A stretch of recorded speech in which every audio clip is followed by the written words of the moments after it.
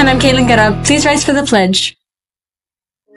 I pledge allegiance to the flag of the United States of America and to the republic for which it stands, one nation, under God, indivisible, with liberty and justice for all. Under the Texas flag, I pledge allegiance to thee, Texas, one state under God, one indivisible. I will graduate from high school equipped to excel in the college and career of my choice, dominate 21st century skills in leadership, knowledge, language, and technology to compete in a global economy and serve as a successful citizen in my community. Now for a moment of silence.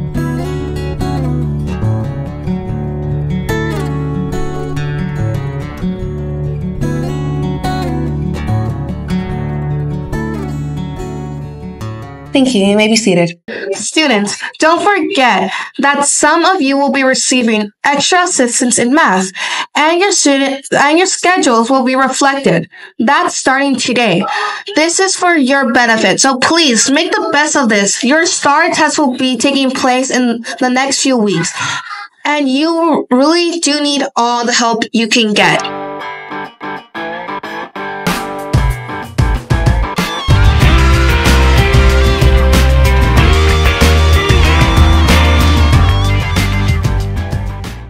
A team of Marines are set to begin their hunt for the most valuable shipwreck in history.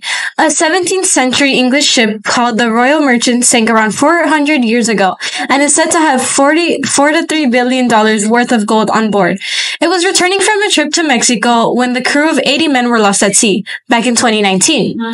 Experts found a massive anchor caught in the nets of another ship off the coast of Cornwall, and they believe that it belonged to the Royal Merchant. Since then, Marines have been set on on a mission to find the remainder of the ship and have searched about 200 square miles for, so far.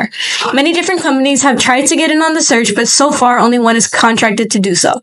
The whole search will begin this April and will be documented as a TV show. Could you imagine finding such that much money? In the words of Michelle Obama, success isn't how much money you make. It's about the difference you make in other people's lives. Remember that true isn't how, true success isn't how many people can step to get where you want to be. It's about how many people are people you lift with you as you go along through this life.